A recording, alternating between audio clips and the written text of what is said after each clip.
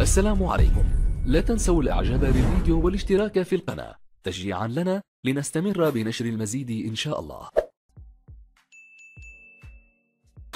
آه، معكم معطوف أحمد رئيس الجمعية الخيرية لرعاية الأشخاص المسنين بإقليم اليوسفيه آه، بداية أتقدم بالشكر الجزيل لكل من ساهم في هذا المشروع من قريب من بعيد.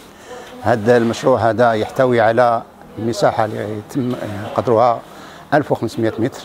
موهبه من طرف موهوبة من طرف مكتب الشريف الاسواط وبالطبع بالتنسيق مع السيد العامل ديال الإقليم اليوسفية جزاه الله خيرا. هذا المشروع هذا تبناه واحد محسن أحد المحسنين جزاه الله خيرا بهذه البناية اللي هي الآن باقي الآن كيشتغل فيها.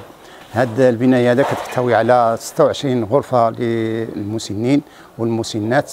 آه، طابق تحتوي على الطابق الأرضي والطابق السفلي والطابق العلوي. وتحتوي على كذلك على deux ascenseurs لأن المسنين ما يمكنش يطلع مع الدروج ولا كذا. كاين واحد جوج ascenseurs لأن السيد محسن هو اللي غيتكلف بهذه بهذه العملية هذه ونتمنى من الله تعالى أن يوفق الجميع وأن يوفقنا كاملا عدد الغرف اللي في هذه البناية لبنايه دار المسنين بإقليم اليوسفيه وبالضبط في حي النهضه آه، كتحتوي على 26 غرفة والطاقة الاستيعابية ديالها 52 شخص.